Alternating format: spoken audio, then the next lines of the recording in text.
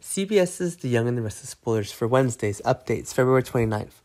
Also, in the near future, Devon and Tucker McCall will meet and say their wishes. They're father and son, so it will be easier to forgive each other. Tucker knew that he was wrong to do the opposite of Devon's wishes, so that he had to carry a huge debt now. Ashley wants Devon and Tucker to unite and sit together to overcome this crisis period, to have their reputation affected. Devon's a good person, and so is Tucker, and they're finally a family, so and they hate each other is not so gonna happen.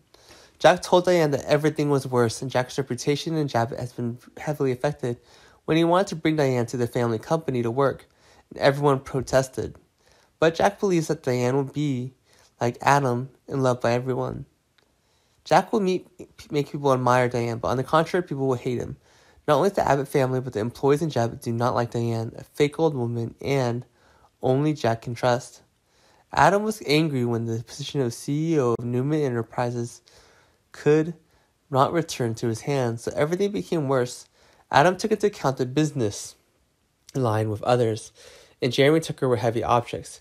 Jeremy's holding $1 million of Jack, and he wants to invest, and Adam is an expert who deployed projects, so he should trust and do business with Adam, and they will succeed. It can be said that Alliance Ashley, Tucker, Jeremy, and Jack will thrive, becoming a bad force ready to confront everyone, and no one can defend them. Jack and Victor should reconsider their attitude. And this life, always has difficult thoughts.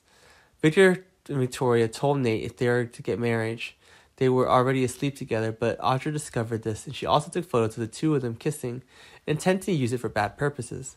Nate now has too many women around, and he doesn't know who to choose now. So, Nate believes that he is a component, an incompetent person, and he is loved. But no, Elena, Audra, and Victoria will find them being deceived, and they will make the revenge on these bastard men.